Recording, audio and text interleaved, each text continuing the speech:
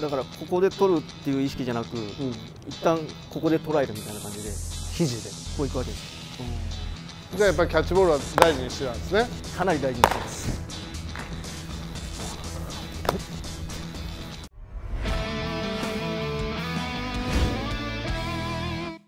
千葉ロッテマリーンズ在籍中の小坂誠です。今日はいろいろ学んで帰りたいと思います。よろしくお願いします僕はこの通り体重もないしで関節も短いんで伝える力が正直ないんですよ。なのでこっちで作った力をできるだけボールに伝えるためにイメージしてポイントとなるべくこの辺は動かさないように。でそこのポイントに自分が入っていってあとはその投げるためのリズムとあとボールを取るためのタイミングですか。ポイント。そこをちょっと意識するようにやってました、うん、そうしないとまずこの辺の人たちとはいやいやあなた一番上です 僕は反応がもうこうなので前に行くんで。だからこんな感じでいってます。あやっぱこうなる、ね、なってます、はい、当てて取るというかボールに対して面はこう向けるんですけど、うん、速い打球とかだったらやっぱり一回パッと閉じます、うんうんうん、意識的に、うんうん、じゃないとちょっと回転がどうしても強い打球なんで、うんうん。はい、そうすると僕どうしてもワンピースで投げれないんで、うんうん、一回ステップしないしないとダメなんで、うん、ワンピースする時って本当に勝負かけるとかその時ぐらいであとはステップ必ず踏んでたんで、だその時にこう握り替える時にある程度こう死んでないとこう握れないんで、はい、だからそそれをボールに対してこうこう補給面を向けてそこに入るように当ててでクッとちょっと握るような感じで意識的に。それは僕もやってます。意識的にこうやったことはないですけど、こうやって取った後に必ず右乗るじゃないですか、そしたら行くと同時に僕この辺にちょっと力ためないと投げれないんで、その時に自然と、えー、左足を前に行って右手は後ろに行って。いや僕はこういう意識あった？ありました。時々。そうなんだ、はい、縦で縦振り横になった時に縦振りしたい時はわざとこうやってこうやってます。ああなるほどね、はい、動きがそうなった時に特にあの潰しがあったゲッツーとかはああなるほど。あの握ってこうやると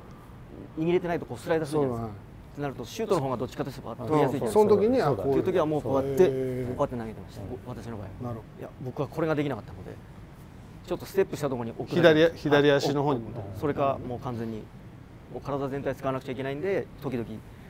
後ろになったりとか。っていうのは。たくさんなんかもサイズがちっちゃいんで投げれないんですよそうしないと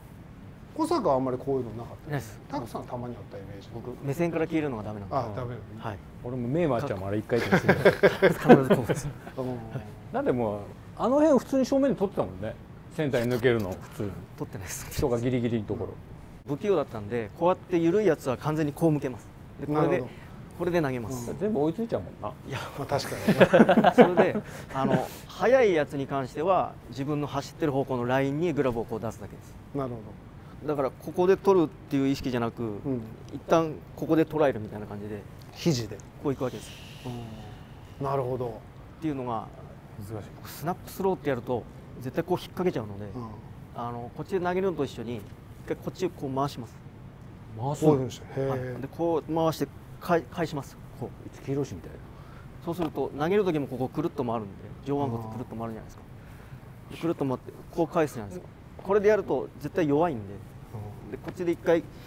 守ってあげるとちょっと時間取れるんで。ででそそれで投げるようにして距離が短い時はちょっとこうなる時もありますけど、若干定位置で取るとか定位置よりちょっとこっちだったらやっぱりさっきみたいな投げ方した方がそうしないと僕できなかったんです。あの、投げれないです。深夜さんこう見せてこう投げれるじゃないですか。僕それができなかったんであの自分でちょっといろいろ試して。でちょっとここで時間差作ってあげて返してあげた方がいい球いったんで僕はほとんどやらないです。やんないよね、はい、こうやって飛ぶもんならあの絶対僕抜けるんでそれだったらもうこうそのこうやって投げた方がこうやってこれもありました。けどこの方が力入るんです僕の方。はい、じゃこうやってみんな器用にこうやるじゃないですか、うん、それが僕できなかったので意識はしてます。さっき言ってたこう来て右で取って投げる時と、うん、あと左とかあるじゃないですか、うん、その時にボールに合わせて取ると同時に入っていって、でステップを踏んで投げると僕の場合リズムとテンポがいいのでで足が使えるそれでなるべくあのこうやってみんなみたいに大きくないのでここに自分のポイントを作って、うん、そこに体を運んでここに入ってくれてっていうのをずっとやってたのでこの辺にシンプルに入ってきてくれみたいな、うんうんうん、そこに体を運んで。それなんでバランスね。で右左右左。歩くのもあるじゃないですか、うん、深夜さん前言ってたように、うん、その意識でそこから外れた場合はちょっとどうしても移動できないんですけど、うん、なるべく右左、で左で入った時は左右左で入る時にここに収めるようにとかっていうそういう意識ではやってました。あの本当に投げれなかった。僕の場合こうですね。これでこうです。取ったらここで、なるほど、ね、ここに当てれば当てるほどこっちに握り替えるとか蓋してこうしてる間にここでくるくるくるっと回す。その訓練を何回もやったので。さすが。くるくるくるくるくるって回すんですよ。それもい。ろんな人のちょっと見せてもらってどうやってんのかななるべく自分の視野に入ると、うんうん、前すぎずで引きすぎず。ですね。こうなるべくこう突っ込まないようにして、うん、最悪突っ込んだ時の自分の目線で終える位置ぐらいのここの辺で取れるようにっていう。こっちになる時もありますし、うん、逆に言えば、ね、はい。受け方取り方体重移動すべて守備の基本になるんで。なるほど。常にそれを意識してます。じゃあやっぱりキャッチボールは大事にしてたんですね。かなり大事にしてます。はいそれ練習でしょ？練習です ちょっと。何の技術下がるもういいんですよ。意識高すぎる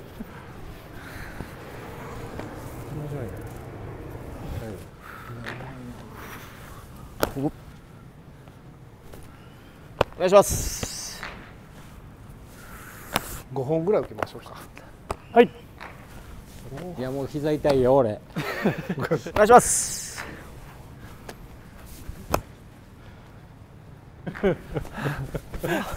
変わんないなやっぱり年取ってもみんな。お願いします。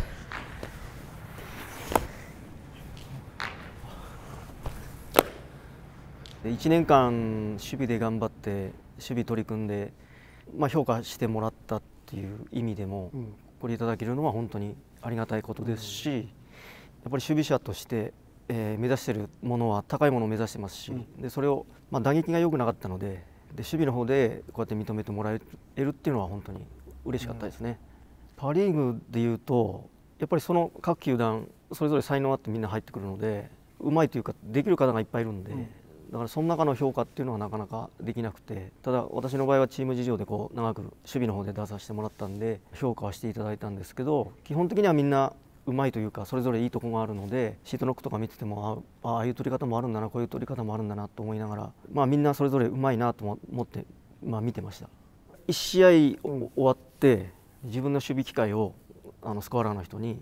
まとめてもらって、それを見返してでその守備の参考にしてロッカーに置く時はこうやって置いてて、うん、で遠征に持っていく時はここにボール2つ入れて、うん、でケースに入れて最初はそれできなかったんですけどある程度何年かしてからこのケースを入れられるようになったので、うん、そこに予備用と試合用と入れてこうやって、で保管して持ってきましたあでもこっちは普通の固形を塗ります。固形はい。それはどれでもいいの？別に。いや当時はちょっとアシックスさん今もアシックスなんですけど、あのローリングスのの油を油があったんで、それそれを塗って、はい、で試合になって試合に行って、えー、セカンドキャンバスのところにこう土をつけて、うん、でここでちょっとなじまして、うん、でベタベタすぎず、うん。えー、あなるほどね。砂でちょっと油をやってで汚れるんですけど僕の場合はその食感触が好きだったので、それをやってこっちはアマニ油塗ってます。僕の場合はスピードじゃないですかね。生かしてたのが良かったですしただ体力面で言ったら絶対不安な要素はあったんで、うん、でもその僕はその辺でやってこれたのかなと